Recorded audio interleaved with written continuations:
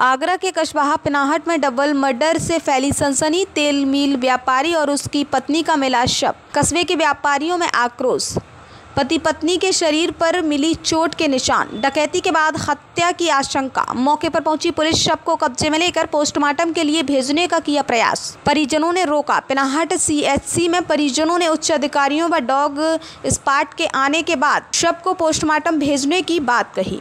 कस्बे के व्यापारियों ने व्यापारी दंपति की हत्या के बाद कस्बा किया बंद, खुलासे की मांग। थाना पिनाहट के मोहल्ला मार्ग की है घटना।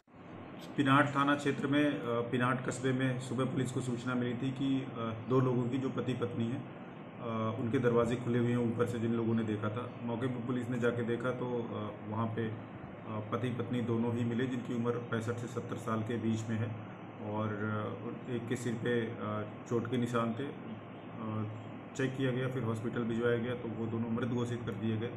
कमरे में सामान अस्त व्यस्त पड़ा था। परिजनों को सूचना दी गई है। वो तहरीर के आधार पर मुकदमा पंजीकृत किया जाएगा। प्रथम दृष्टया ऐसा लगा कि कुछ लोग अंदर आए हैं, सामान भी बिखरा पड़ा था और उन्हीं के द्वारा हो सकता है रात में लोग जग गए हों तो ये हत्या कारित की गई है। इसमें जो भी पोस्टमार्टम रिपोर्ट में मृत्यु का कारण आएगा, उसके आधार पर विवेचना की जाएगी। अभी मौके पर शांति व्यवस्था है इन्वेस्टिगेशन जारी है। कुल तीन टीमों को लगाया गया घटना के दौरान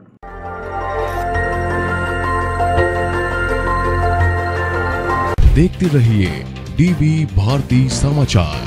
नज़र हर खबर पर।